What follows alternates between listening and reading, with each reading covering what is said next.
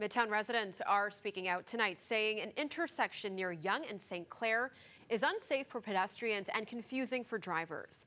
A petition has been circulating online asking the city to consider new safety measures for Yonge and Heath Streets.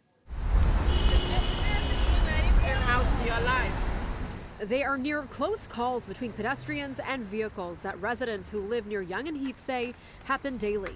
I need to have my eyes in all different directions because at any moment in time, a car could come out of nowhere, and I mean out of nowhere because I don't know which direction they're going to come from. Katie King has been living in the neighborhood for most of her life.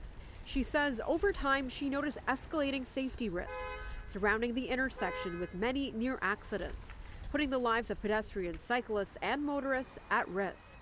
The previous crossing guard only stayed here temporarily uh, because he felt unsafe to do his job here. Currently, the intersection has a two phase traffic light system.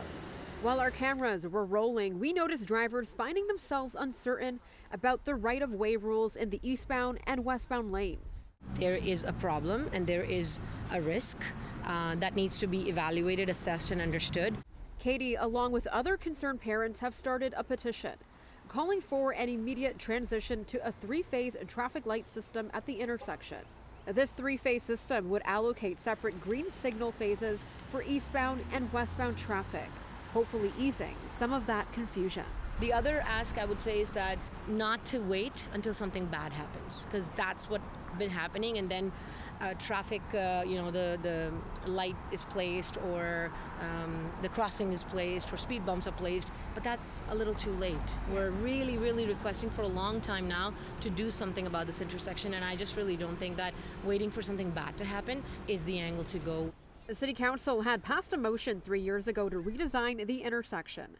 Part of that redesign would improve traffic flow and pedestrian safety through the reconfiguration and realignment of Heath Street, though no timeline has been set on when that would take place.